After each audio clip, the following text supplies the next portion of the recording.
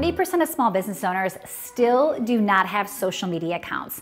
And out of the 60% that do, so many of them are not using it effectively. I am proof that even a brick and mortar business needs social media.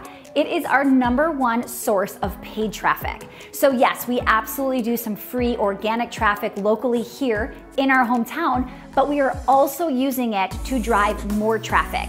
So I wanna give you three tips today to help you use social media effectively. So tip number one, I need you to step into the role of becoming a savvy social networker. It is called social media for a reason. You need to be social on these platforms. So when people are messaging you or you're asking questions, start to truly engage with them. These are potential customers or current customers that you want to retain. Number two, pull out great content. It's not just buy my stuff, buy my stuff, buy my stuff.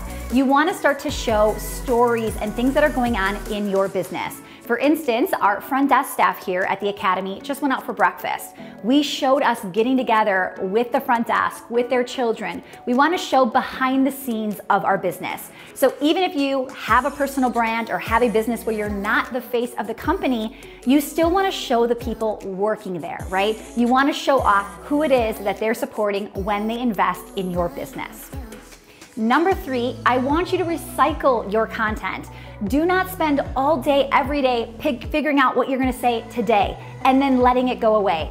I want you to start to build and repurpose this content. So use it on multiple platforms, but also bring it back. Start to recycle every 30 days, then build up to every 60 days, 90 days, and so on. Pretty soon, I want you to have a 12 month marketing calendar. So every year you can go back and re-pull out for December and January and so on. So stop working so hard and start working smarter on social media. If you haven't grabbed our marketing assessment to see maybe where you're leaving money on the table, go to stacytuschl.com forward slash assessment, and I wanna hear from you what score you got and where you wanna focus your energy and attention. Thanks so much for watching. Make sure to subscribe if you haven't done so already, and then hit that notification icon so you never miss another video again.